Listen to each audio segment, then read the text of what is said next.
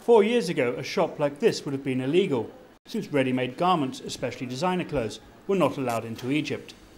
Most clothing in Egypt they imported was kind of smuggled in. They, I don't know how they used to get it in, or just in bags and, and, and something like that. The Egyptian government changed the law in 2004 by starting a program of economic liberalisation, including cuts in personal and business taxes, as well as a reduction in tariffs and customs duties. The impact on the retail industry has been an increase in sales from $35 billion in 2003 to $42.6 billion in 2006. As a result, international designers have begun to view Egypt as a viable market. There's a lot of wealth that is being created, uh, that has been created during the past couple of years. Of course, only a tiny fraction of the Egyptian population is able to shop in Bayman, but the changes in retail have had an impact across whole sectors of society. The first Metro supermarket opened in 1998. 37 more have been added since then across the whole country. When we first started out with Metro, there wasn't really any uh, organized retail or modern trade, so, so to speak. So uh, there was also there was just a set of you know uh, traditional grocers. The company also used the Metro model to start a chain of cheaper discount stores called Kheir Zaman to service the C and D demographic, people whose average wage is only around $150 a month. Two years ago, we decided to, you know, if we were to make a serious impact on the market, the Egyptian market, we had to also address the uh, C and D customers, which uh, form almost 90% of the total market. The Metro Group had an annual turnover of $217 million in 2007, up 50% from 2006. But still, the company feels there's a lot of room for growth.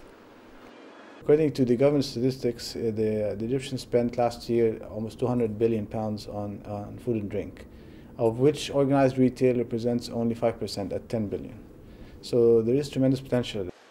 Another factor that's had a big impact on the retail sector was the opening in 2004 of the country's first shopping mall. It's no exaggeration to say that the arrival of City Stars changed the way the middle and upper class shopped in Cairo. When it opened, no one had seen its like in Egypt before, and from the very start, it was an instant success. We opened 115 shops, you know, and become, you know, every time by time we open shops and shops and shops. Uh, the first impression, it was really uh, amazing, you know, they like it very much. Two million people now visit City Stars every year. Another major societal change has been Egypt's embrace of the upmarket coffee shop. The most popular is Cilantro. Founded in 2000, it now has 1,100 employees 54 outlets, and a current turnover of $13.5 million. A lot of our customers take Cilantro as their offices and they have their meetings and, and, and, and we offer them fax services, free, you know, photocopying, whatever. So actually I'm offering them maybe a solution for uh, some of the financial problems that they might be facing. The government predicts GDP growth will fall by about 2% next year to stand around 5% which is bound to have at least some impact on the country's retail market.